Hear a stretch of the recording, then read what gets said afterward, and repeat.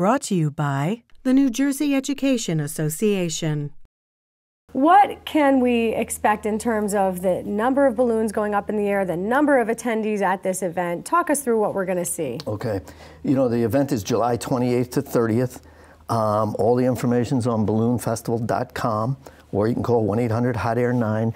Right there is one of the special shapes is the uh, Ameri PNC Salutes American Flag balloon. We'll probably have 10 to 15 special shaped balloons uh, including the lover bees because it's our 35th anniversary. We're going to bring back the lover bees. I you saw that just, adorable teddy bear right there. You, you just saw that uh, bimbo bear for the yes. bimbo bakery.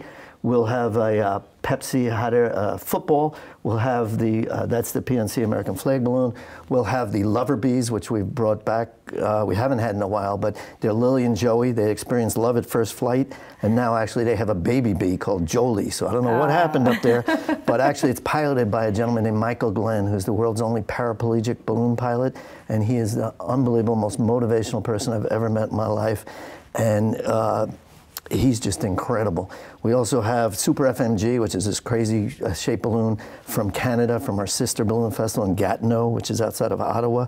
Um, we'll have a birthday cake balloon because how can you have a party for 175,000 of your closest friends with having a birthday cake and all kinds of uh, special balloons that we'll be previewing, including a new Star Wars shape.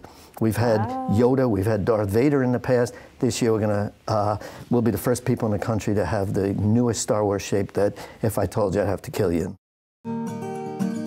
As an educator, it's all about connections. You're not just in the classroom, you're part of the community. You meet these tiny kids every year and you help them learn and grow. But you also get to know their families, and over the years, they become a part of your life and you become a part of theirs. When you build those connections, you can accomplish some pretty amazing things. I'm Jackie Kruzik, and I'm proud to be a New Jersey educator.